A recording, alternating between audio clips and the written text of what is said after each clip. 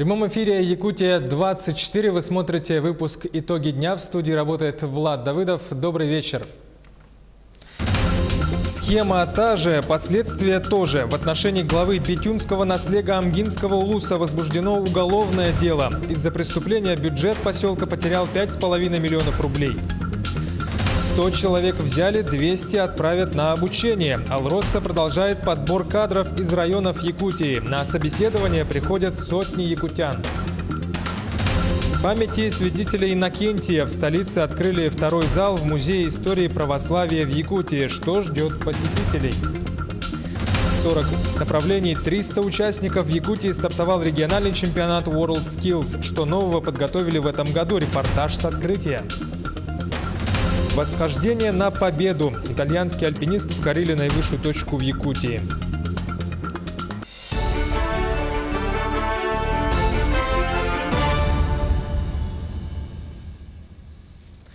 В отношении главы Бетюнского наслега Амгинского улуса возбуждено уголовное дело. Чиновника обвиняют в превышении должностных полномочий с причинением тяжких последствий.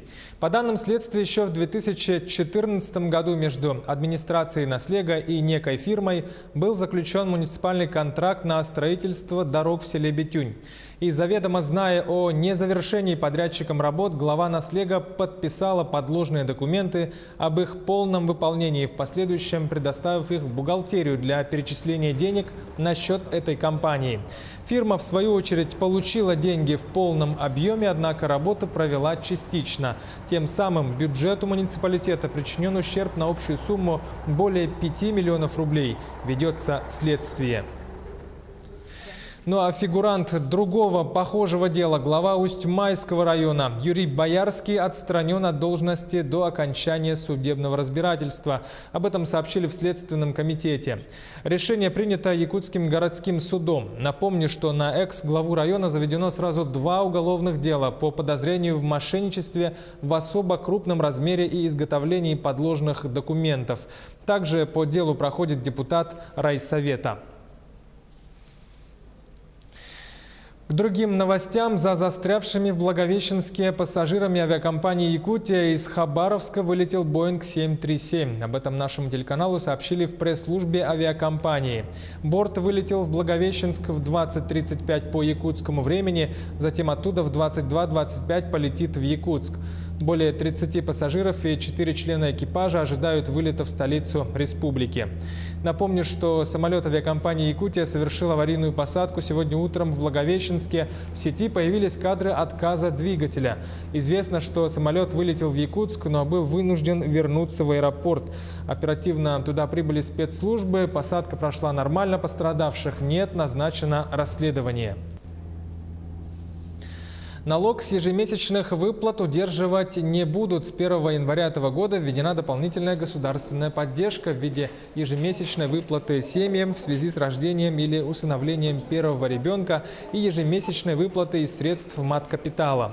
В целях усиления материальной поддержки законопроектом предлагается установить, что такие ежемесячные выплаты не будут облагаться налогом на доходы физлиц. К другим темам повышение качества жизни в Южно-Якутском промышленном районе. Это первоочередной пункт в проекте плана социального развития Центров экономического роста региона. Об этом в своем выступлении сообщил глава Егор Борисов на правительственной подкомиссии по реализации инвестпроектов на Дальнем Востоке. По данным на финансирование долгосрочного плана из федерального бюджета выделено 56 миллиардов рублей.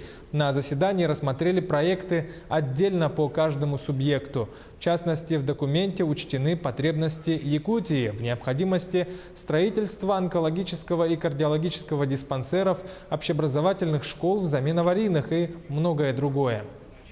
В начале э, этого года завершаем очень большую работу, которая связана э, с строительством социальных объектов на Дальнем Востоке с учетом поручений президента Российской Федерации. Конечно, речь идет прежде всего о тех бюджетных средствах, которые нам необходимо пробивать для того, чтобы эти объекты появились. И прошло согласование, прошло обоснование. Мы э, определили в республике несколько точек роста. Это имеется в виду э, Южной Якутии.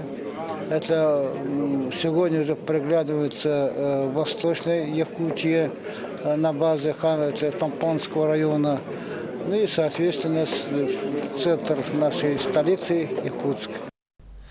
В Сочи стартовал российский инвестфорум. В этом году собралось 700 человек со всей России. Участники в ходе дискуссии обсуждают вопросы подготовки и переподготовки управленческих кадров, обеспечения открытого формата работы госорганов, эффективности целевых моделей улучшения инвестклимата в регионах, внедрения проектного управления и другие вопросы.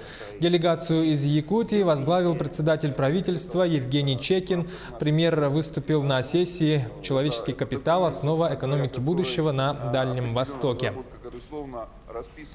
И буквально через пару часов в рамках этого форума планируется подписание соглашения об организации местных воздушных линий в регионах между Якутией, Бурятией, Минпромторгом и Министерством транспорта страны.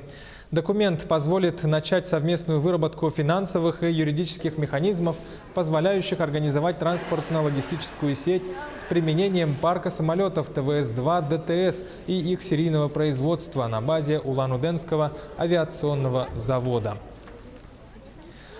С 1 июля перестанут выдавать паспорта транспортных средств ПТС в бумажной форме. Их заменят электронные.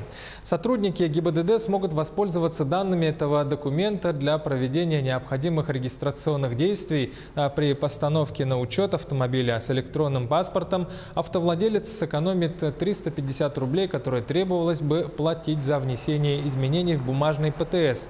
Если бумажный паспорт утерян или пришел в негодность, а также просто по желанию автовладельца поменять бумажный на электронный, собственник может сделать это в одной из уполномоченных организаций, например, у оператора техосмотра. Гражданская панихида по Тарасу Десяткину состоится в субботу 17 февраля. Напомню, что накануне на 90-м году жизни остановилось сердце видного общественного и государственного деятеля, крупного специалиста и выдающегося организатора горнодобывающего производства Якутии и России. Панихида пройдет в Государственном театре оперы и балета с 11 часов. Э, человек, который заботился всегда о человеке труда. Он был наравне э, с молодым, с опытным работником, всегда давал умные советы. Я помню молодым э, на Драге 75, когда работал механиком, в период своей становления трудовой деятельности, приезжал Тарас Гаврилович на Драгу. Это был действительно праздник, это был результат. Когда работал в профсоюзах, он считал всех профсоюзных лидеров Э, своими опорой, помощниками, потому что непосредственно через нас э, знал обстановку. Конечно, это большая утрата, но мы всегда будем помнить о Тарас Гавриловиче, о его э, руководстве, под его счастливым я считаю, что это действительно было счастье работать под его руководством. И вечная память ему, и пусть земля будет пухом. Приговором Мирнинского районного суда мужчина признан виновным в убийстве. Следствие установило, что в ходе распития алкоголя между двумя работниками природного парка «Живые алмазы Якутии» возникла ссора. После мужчина нанес потерпевшему удары ножом в области грудной клетки. От полученных ранений потерпевший скончался на месте происшествия. Приговором суда подсудимый признан виновным и приговорен к восьми годам лишения свободы с отбыванием наказания в исправительной колонии строгого режима. Госавтоинспекция Якутска предупреждает водителей о массовых проверках с 15 по 17 февраля. В основном это направлено на выявление нетрезвых водителей и нарушение правил перевозки детей. Помимо центров населенных пунктов, наряды ДПС выставят в окраинах города, а также в местах массового отдыха граждан. ГАИ в очередной раз обращается к гражданам с убедительной просьбой быть неравнодушными, оказывать содействие в борьбе с грубыми нарушителями ПДД и незамедлительно сообщать о фактах нарушений в дежурную часть по телефону 127. Дом по адресу Байкалова 6 в столице могут признать аварийным. Сюжет с рассказом горожан о невозможности жить там дальше из-за непригодных условий и угрозы обрушения вышел в эфир нашего телеканала накануне. И сегодня стало известно, что здание снято с капитального ремонта. Износ объекта 70%. Инженерные конструкции находятся в критическом состоянии, трещины в каждой квартире. Комиссия по чрезвычайному анализу уже создана и начала свою работу. В ее составе жилкомсервис, управа автодорожного округа и управляющая компания этого дома. Добавлю, что там проживают пожилые люди, люди с ограниченными возможностями и даже дети. По заявлению, по заявкам жильцов, еще в октябре месяце нами были установлены маячки в первом подъезде. После этого, после наблюдения, получается, в декабре маячки разошлись.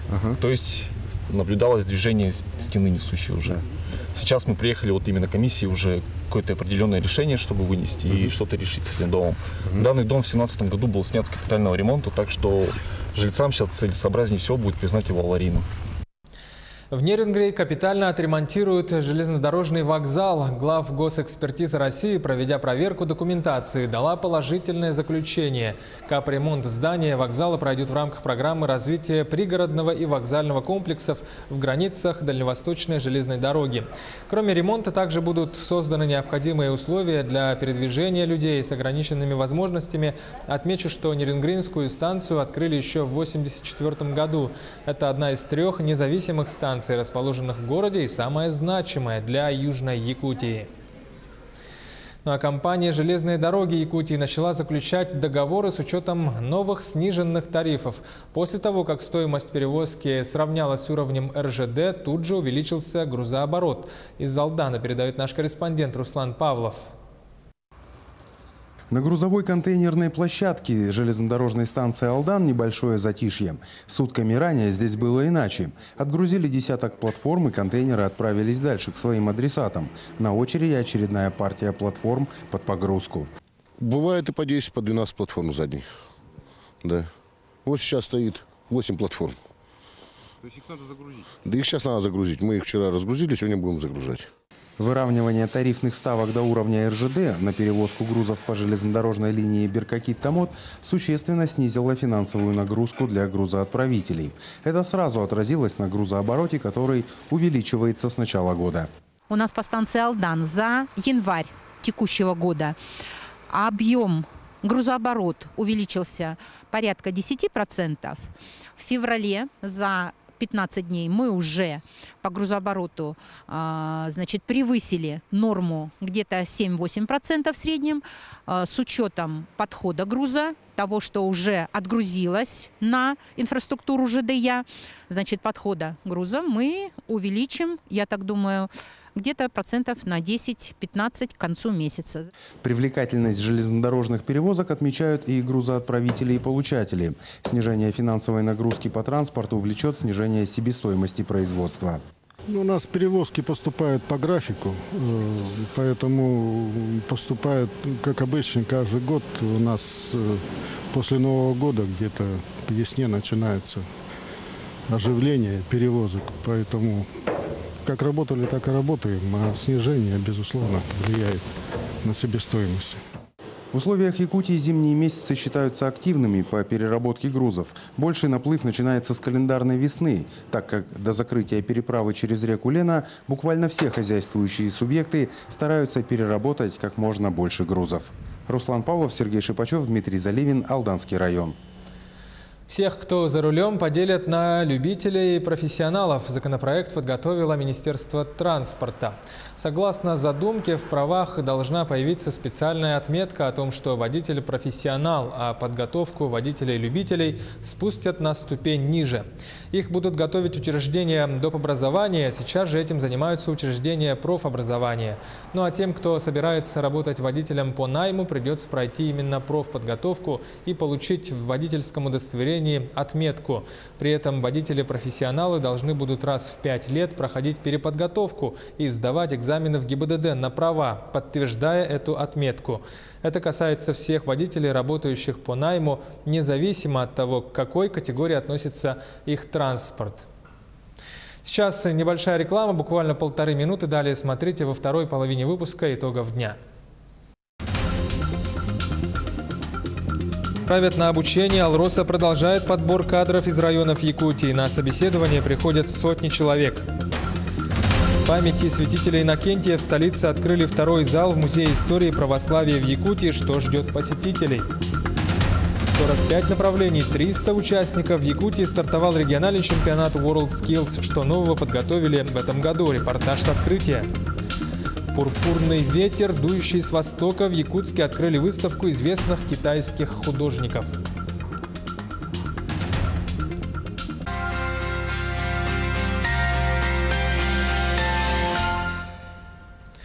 Продолжается совместная командировка представителей компании «Алроса» и Госкомитета занятости населения республики. Специалисты сегодня посетили Нюрбинский район. На выездное собеседование пришли 600 местных жителей, из них 100 нюрбинцев уже готовы взять на работу в подразделение «Алроса». Ну а 200 соискателей отправят на обучение. Прежде всего трудоустроить тех, кто уже имеет соответствующий уровень образования и профессиональной квалификации для работы в горно-рудной промышленности. Работу на месторождении организуют вахтовым методом. Зарплата составит от 30 до 100 тысяч рублей. При этом сообщается, что работники будут проживать в комфортных условиях в вахтовом поселке. Интерес у населения есть, но, к сожалению, практика показывает, что уже готовых специалистов не так много, у которых есть соответствующее образование. У многих нет э, необходимого образования, поэтому у нас тоже большой вопрос на сегодня стоит именно по их переобучению. В первую очередь сегодня мы будем, конечно же, э, с удачным кроком э, сперва определим тех, кого они уже возьмут сразу на работу, а после этого уже с теми, которых они не отобрали, мы уже будем работать и по другим подразделениям, и по другим а, промышленным компаниям, чтобы предложить им работу, как и на вахту, и на сезонную работу, ну и также можно и на постоянную работу, если у них есть желание. В республике стартовал региональный чемпионат World Skills. Шестой по счету конкурс молодые профессионалы проведут по 45 направлениям. Заявились более 300 участников. Что нового для них подготовили организаторы в этом году? Торжественное открытие посетил Дмитрий Тымыров. Шестой по счету региональный чемпионат молодых профессионалов World Skills в этом году стал еще моложе. Организаторы мероприятия допустили к участию ребят с 14 лет. В этом году участвуют школьники, направление юниоры. И если в прошлом году мы проводили только среди молодых профессионалов, это в основном студенты, то в этом году также принимают участие школьники. Также в этом году увеличилось число компетенций, по которым будут проходить соревнования. В этом году мы чемпионат проводим по 60 компетенциям. В, это, в прошлом году мы проводили по 43, то есть прибавление значительное.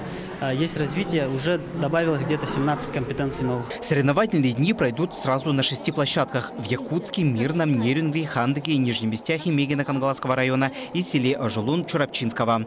Помимо студентов, участие примут более 100 школьников из разных уголков Якутии. Мы готовились довольно хорошо. Нам вот, управлять здание и показали. Мы решили попробовать свои силы. В компетенции Оценивать работу молодых профессионалов будут 200 экспертов, как приглашенных, так и из числа местных специалистов. Среди них будут и эксперты-дети. Это победители прошлых чемпионатов. В этот раз они оценят работу молодых профессионалов. Юные члены комиссии признаются, что волнуются не меньше, чем участники. Конечно же, надо быть очень компетентным экспертом и знать все аспекты своей сферы. Я думаю, я справлюсь с этой работой. Ну, по крайней мере, надеюсь. Что касается участников, то все они надеются только на победу. Несмотря на то, что мы довольно-таки юные, у нас амбициозный проект, я уверен в своих силах. Ну, мы верим в себя, то есть мы уверены в победе, уверены, что займем первое место. Завтра с 16 февраля уже начнется работа по компетенциям и продлится до 25 февраля. Победители этого чемпионата будут принимать участие в отборочных соревнованиях, и у них появится шанс выступить в финале, который состоится в городе Южно-Сахалинск в августе этого года. Дмитрий Тымыров, Григорий Григорьев, Якутск. Труд крут. Под таким названием в Якутске проходит первый республиканский конкурс профмастерства среди студенческих стройотрядов. Принимают участие представители четырех штабов. Это команды СВФУ, ЕГСК, среднего профобразования и города Якутска. Все подробности у Оксаны Устиновой. Команда в составе пяти человек должна пройти три этапа конкурса. Первый – ответ на вопросы по знанию охраны труда и сухого строительства. На втором этапе команда приступает к выполнению практического задания. За три с половиной часа установить каркасную стену, обшитую гипсокартоном высотой 2 метра. Стена обязательно должна быть с окном и дверью. Я вот э, разрезаю каркас для, ну, для стены. Ну, я должен придерживаться, во-первых, безопасности, ну, чтобы не было таких порезов там. А во-вторых, ну, все было идеально. Ну, я их очень хорошо знаю, ну, больше два года. А, вот. Они уже умеют свое дело делать. Вторым поработали в Космодоре Восточный. Там мы поработали чисто по строительству, по заливке бетонного пола и стены. За работой ребят пристально следят команды соперники. Они фиксируют каждую ошибку и проверяют процесс на безопасность труда. Однако последнее слово за экспертами. Но по итогам первого этапа можно сказать, что ребята достаточно хорошо ответили на эти вопросы.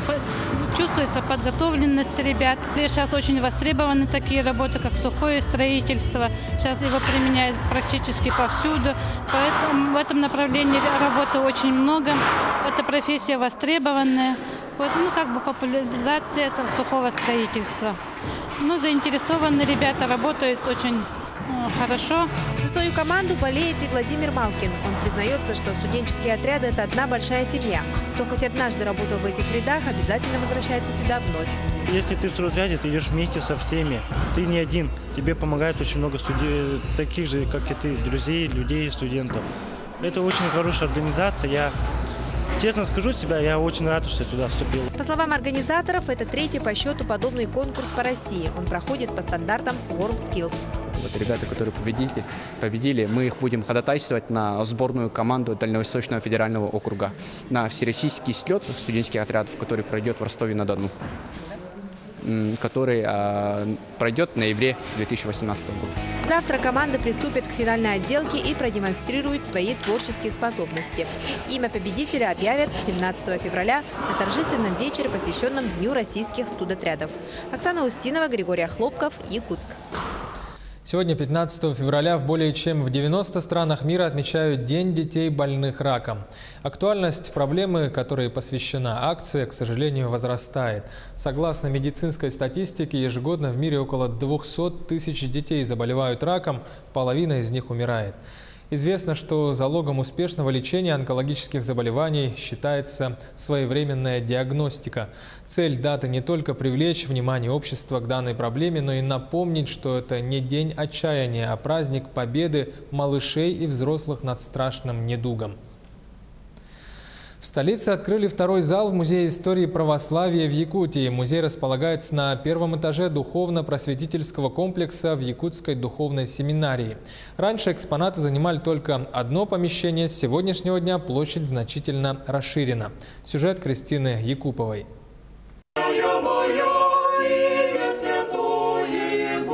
Этот день, согласно библейским текстам, Богородица принесла младенца Иисуса в Иерусалимский храм, чтобы посвятить его Богу. И в этот знаменательный для православных христиан праздник состоялось открытие второго зала музея. Сегодня э, великий праздник Сретения Господня, открытие второго зала Музея истории православия в Якутии. Зал, посвященный памяти святителя Иннокентия и немного э, живописи, иконописи наших э, якутских иконописцев. Новый зал формировался в течение трех лет. Всю основную работу по сбору экспонатов возглавил краевед и ныне директор музея Валерий Дмитриев. Часть экспозиции посвящена святителю Иннокентию Вениамину, впоследствии митрополиту Московскому и Коломенскому. Святитель Иннокентий – уникальная личность не только в истории православия, но и в истории Якутии в целом. Там представлены на планшетах информация о святительском пути митрополита Иннокентия, а, фотографии. Основную часть зала занимают отреставрированные иконы. Ранее они принадлежали Троицкому собору. «Тайная вечеря» и два полотна с ветхозаветными сюжетами. Иконы были найдены еще в 90-е годы и хранились в церковном пределе. Предположительно, автор полотен – якутский известный художник Иван Попов. Сюда для реставрации работ были приглашены московские художники. И вот, наконец, они представлены широкой публике. Торжественные открытия ознаменовались подписанием соглашения между Якутской епархией и Министерством по делам молодежи и семейной политики республики. Также сегодня чествовали победителей городской олимпиады для школьников по основам православной культуры. Кристина Якупова, Василий Слепцов, Якутск. Я волонтер. Под таким лозунгом в Ленской районной библиотеке открыли школу помощи людям. Более 40 человек разных возрастов пришли с одним желанием помогать другим. Чем конкретно занимается школа и что для них значит быть волонтером? Слово Марине Крутихиной. Какими качествами должен обладать человек, чтобы стать волонтером? Ответ на этот вопрос знали все собравшиеся на открытии в Ленском районе школы волонтера. Это мероприятие провели впервые. Провели, чтобы объединить лидеров и членов волонтерских организаций и неравнодушных людей разных возрастов и профессий. Сегодня на школе волонтеры участвуют как совсем новые люди, которые не знакомы с этой сферой, так и уже действующие добровольцы-волонтеры, а в частности волонтеры Лучеленска. А, порядка 40 человек участвуют в этой школе, и мы надеемся, что с каждой школы это количество будет увеличиваться. Год добровольца волонтеры Ленского района начали хорошим стартом. На прошлой неделе под патронатом Комитета по молодежной и семейной политике прошла зимняя неделя добра. Во время ее проведения и решили открыть школу волонтера. На первое занятие пришли люди, которые хотят совершать добрые дела, но не знают как. Здесь они послушали лекции кураторов и узнали, какие в Ленском районе есть добровольческие организации. Возраст здесь не ограничен. Можно от 14 до 99 лет участвовать всем, так скажем. Нужно понимать, что волонтерство, оно разное. И люди могут помогать. Может, некоторые боятся, может, некоторые думают, что его как-то неправильно поймут. Кто не испугался, пришли сюда в числе первых, с глубоким пониманием своей цели. Школа волонтеров, я жду то, что больше людей станут волонтерами, и наш мир станет немножечко добрее. Меня знакомая попросила прийти, и пришлось отложить свои дела и сделать доброе дело по просьбе друга прийти сюда. Объединившись, волонтеры будут действовать более скоординированно и эффективно, что даст возможность оказывать реальную помощь нуждающимся. Помогая другим, мы сами становимся лучше. Марина Крутихина, Сергей Счастный, телеканал «Алмазный край». В Нерюнгре открыли вторую межрегиональную творческую школу педагогов. Пригласили преподавателей и учителей музыки со всей Южной Якутии, рассказывает Екатерина Павлова. Первый этап творческой школы педагогов – конкурсный по различным номинациям, где участники представят программу из одного номера для оценки жюри. В каждой номинации будут определены лауреаты и дипломанты конкурса. Участников 70 преподаватели вот, э, заявку подали. Поэтому по номинациям, значит, по всем номинациям тут у нас и художники, и хореографы, и музыкальное исполнительство, и ансамблевое коллективное музицирование. Благодаря участию в межрегиональной научно-методической творческой школе педагоги могут обменяться друг с другом опытом, ознакомиться с новыми программами и проектами и повысить свой профессиональный уровень. Мне вообще хочется поблагодарить организаторов научно-творческой школы за то, что они дали нам возможность, во-первых, собраться все вместе, поделиться своими наработками, ну и, конечно же, быть услышанными. Вторым этапом проведения творческой школы станут курсы повышения квалификации преподавателей по теме традиционные и инновационные методы преподавания по проекту «Музыка для всех» и различные мастер-классы. Екатерина Павлова, Вадим Барашков, Нерюнгри. Пурпурный ветер, дующий с востока в Якутске под таким названием открыли выставку известных китайских художников. Торжество состоялось в галерее зарубежного искусства имени Габышева при участии Института Востока СВФУ и Общества российско-китайской дружбы. Сюжет нашего корреспондента Петра Говорова.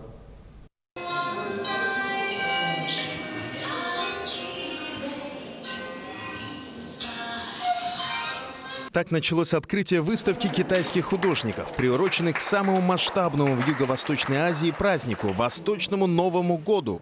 Ну, сейчас канун Нового, Восточного Нового года, мы всех поздравляем. А, и это еще раз говорит, что искусство, оно глубоко толерантно. И на выставке представлено 12 графических листов. А, несмотря на то, что художники современные китайские, а, мы видим очень традиционный взгляд. Всего на выставке продемонстрировано 12 графических произведений современных художников Китая. Джан Синхай, Лю Джисзю, Лянь Юньсян и других. Это искусство каллиграфии, которое э, вырабатывалось и живет до сих пор в Китае. Да? А, это искусство пейзажа традиционного, который, конечно же, очень такой лиричный, очень э, не похожий на европейский. И в этом, наверное, его изюминка. В Китае Новый год празднуют 15 дней. Это самый длинный и важный праздник по китайскому лунному календарю. Фестивали, гуляния, фейерверки. Правда, те, кто давно живет в Якутске, отмечают не так масштабно. Я уже здесь встречаю второй свой Новый год в Якутске. Мне здесь все очень нравится. Праздничный ужин – главная новогодняя традиция. Причем на столе должно быть как можно больше блюд. По поверью, в праздничную ночь за столом присутствуют духи предков, которые являются полноправными участниками торжества. Мы обычно собираемся всей семьей и готовим еду, и обычно мы кушаем два раза. Сначала в 19 часов вечера, пельмени после 12 ночи, но уже плотно. Оказывается, предметы, похожие на якутский дейбирь, существуют также в Китае. Мне кажется, что очень много схожего. У меня в руках предмет, который называется фучен. Это э, атрибут, который э, ну, продается в храме Белой лошади. После открытия все присутствующие смогли продегустировать несколько наиболее известных сортов китайского чая, для приготовления которого используется специальная посуда, изготовленная из глины. Выставка продлится до апреля этого года. Петр Говоров, Илья Сыромятников, Якутск. Таковы итоги дня. Оставайтесь на канале Якутия-24. Будьте в курсе всех новостей и событий. Берегите себя. До, до встречи завтра.